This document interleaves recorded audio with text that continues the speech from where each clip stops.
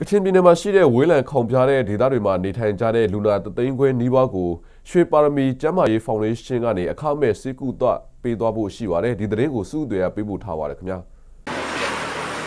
ပေါ်မိုးဆောင်အဲအဲရောက်တော့ဆရာကထွက်ရွှေပါရမီကျမ်းမာရေးဖောင်ဒေးရှင်းကနေမြန်မာနိုင်ငံရဲ့ဝင်းလံခေါင်ဖျားတဲ့ဒေသတွေမှာနေထိုင်ကြတဲ့ပြည်သူတွေကို အခမဲ့ဆေးကုသပေးတာတွေလှုပ်ဆောင်နေတာဖြစ်ပြီးလာမယ့်အောင်တိုဘာလမှာကချင်ပြည်နယ်ဟိုပင်မြို့နယ်မှာလူနာတသိန်းခွေနီပါကိုဆေးကုသပေးတော်မယ်လို့ရွှေပါရမီကျမ်းမာရေးဖောင်ဒေးရှင်းတာဝန်ရှိသူကပြောပါတယ်။အခမဲ့ဆေးကုသပေးတာတွေကိုတော့ကချင်ပြည်နယ်အစိုးရအဖွဲ့အပါအဝင်ဒေသခံဆရာဝန်တွေနဲ့ပူးပေါင်းပြီးလှုပ်ဆောင်သွားမှာဖြစ်ပါတယ်။ချင်းပြည်နယ်ဟိုပင်ကိုအခြေပြုပြီးတော့အော်တိုဘာ25 26 29 3ရက်ကျွန်တော်တို့သွားပြီးတော့စေကူးသားမှာဖြစ်ပါတယ်စေကူးသားတဲ့နေရာမှာလည်းဒါ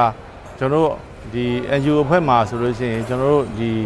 အဲလူပေါင်းအဲဝန်ထမ်းဒီပေါ့တရားကျော်လောက်ပါမှာပါတရားကျော်နဲ့အတူဒါဒေသမှာရှိတဲ့ဆရာဝန်ကြီးတွေပူးပေါင်းပြီးတော့အဲဒီဒေသမှာရှိတဲ့အဲကချင်ပြည်နယ်အစိုးရအဖွဲ့နဲ့ပေါင်းဆက်ပြီးမှကျွန်တော်တို့ဒါကုသမှာဖြစ်ပါတယ်ကုသဖို့လူနာအနေနဲ့3သိန်း2000နဲ့3သိန်းခွဲကြားမှာကျွန်တော်တို့မှန်းထားပါတယ်။အဲ့ဒီအဲလူနာတွေအားလုံးကိုလည်းကျွန်တော်တို့ကုဖို့အတွက်စင်းစတင်ပြီးတော့ကောက်နေပါပြီ ရွှေပါရမီကျမ်းမာရေးဖောင်ဒေးရှင်းမှာပါဝင်တဲ့စေတနာဝန်ထမ်းတွေအနေနဲ့မျက်စိနာနှာခေါင်းလေချောင်းတောအရည်ပြအမျိုးသမီးယောဂကလေးယောဂစိတ်ယောဂအထွေထွေယောဂနဲ့အထွေထွေခွေးစိတ်ကူတာဖို့လိုအပ်တဲ့လူနာတွေကိုအဓိကဆေးကူတာပေးနေတာပါ။ကျွန်တော်တို့မြို့ကြီးတွေမှာမကုပါဘူး။အဲမြို့နယ်အဆင့်နော်မြို့နယ်အဆင့်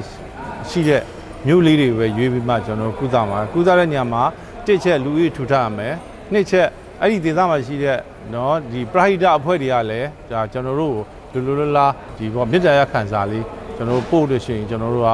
ဒါရွေးချယ်ပါတယ်။နောက်တတိယအချက်အနေနဲ့ကဒါတကယ်လိုအပ်မဲ့ယောဂတွေအားလုံးကိုကျွန်တော်ဒီကစေတနာဆရာဝန်တွေအားလုံး volunteer ဆရာဝန်တွေပေါင်းပြီးမှကျွန်တော်တို့သွားပြီးတော့ကုသပေးခြင်းဖြစ်ပါတယ်ရွှေပါရမီကျမ်းမာရေးဖောင်ဒေးရှင်းကိုဆရာတော်အရှင်စန္ဒာတိကကကြီးမှုပြီး2011ခုနှစ်မှာစတင်တည်ထောင်ခဲ့က